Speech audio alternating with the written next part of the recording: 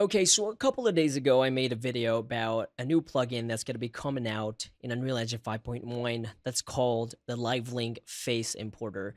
Now, usually for you to animate a MetaHuman in Unreal Engine 4 or 5 using your iOS device like an iPhone, in my case, an iPhone 12, you would typically need to connect iPhone to the same network of your computer. Now, with this plugin that's going to be available in 5.1, you no longer have to connect your iPhone to your computer. You can now record it offline. So that's what I'm going to be talking about today. Now, I spent an entire day yesterday trying to get this to work. And I think, again, this is not in any documentation. So I don't even know if this is going to be the actual way, but I think I got it to work. And basically, I just looked at that instruction that they have right here. I just kept reading it and reading it and reading it over and over and over again. It says, when imported, the CSV files containing the raw facial capture data that the LiveLink Face app saves will become ready to use level sequences with LiveLink data in them. So the last keyword there was LiveLink. And if you didn't watch my previous video a couple days ago, I did not try it like a live link. So that's what we're going to be doing right now.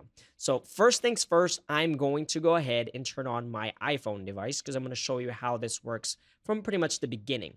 I'm going to go ahead and start recording my screen on my phone here and it's going to pop up here shortly on your screen. So let me go ahead and set this up. All right, so now I have this live link app open. Now before, again, you would have to connect it to the internet, but with this method here, we do not have to do that whatsoever. Okay, so what I'm going to do now is go to settings, and then I'm going to turn on the record button.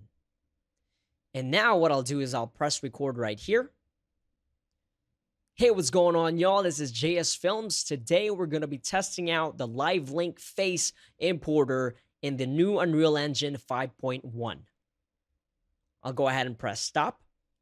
And now this is going to be recording and saving a .csv file inside my phone. So if I go to my drive, my files, and I'll go back to my takes right here.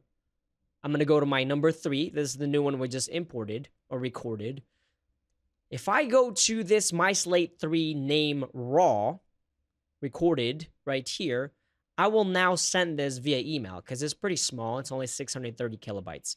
All right, so I went ahead and downloaded the file from my email, and it's the slate3 name name.raw.csv. So we'll go to edit, plugins, and we're going to type in face importer. And as you can see right here, I already have it checked off. So that's good. I don't have to restart or anything. And then what I'll do is now I can just drag and drop that .csv file onto my project folder here. It doesn't matter where it goes. Now, I will go ahead and double click it and it's going to open a new sequence similar to what I showed you in the previous video. Now, I will add my character here like I did in the previous video again. And then whenever I was reading the live link, I decided to go ahead and treat this like a regular live link as it says in the instruction. So typically, if you were to record facial animation using the iPhone app, live link wise, you would have to delete these control rigs. If not, it's not going to animate properly. Now, again, if you go click the MetaHuman and go to details, and this live link face subject, you are now going to see a drop down. And now you have two. Name name is my actual iPhone, but now you're going to see that there is a My Slate number three. That is what we recorded offline and we imported into Unreal. So now I will go ahead and click that to select it. Now, if you look at my sequence here, nothing happens. And somebody commented, you know, go ahead and get out of it and come back in. It didn't work for me.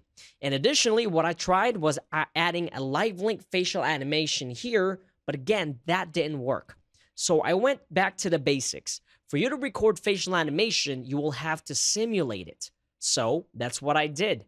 Now, if I go to this three dotted line and press simulate, now, when I press play, you are going to see what we recorded offline on my iPhone, and it works perfectly. It's amazing. This works just like that now. Additionally, if I wanted the head rotation, simulate, press play. And now we have the neck rotations as well. And that's it. Again, I'm not sure if this is how it's supposed to work, but after tinkering with it for an entire day, I believe that this is how you're supposed to be using the new Unreal Engine 5.1 Live Link face importer. But that's pretty much it. If y'all learned something new today, please do like and subscribe. I'm trying to hit 100,000 subscribers this year. Now, I'm sure there's going to be a lot more YouTubers who's going to be making a tutorial about this. Uh, but yeah, it's pretty cool. I love this new feature because you don't have to worry about connecting it to Wi-Fi or internet or anything like that. This is a very, very good addition. To be honest, this is probably the best plugin that's ever released in Unreal Engine 5 for me at least. If y'all have any questions, let me know, and I'll see y'all later.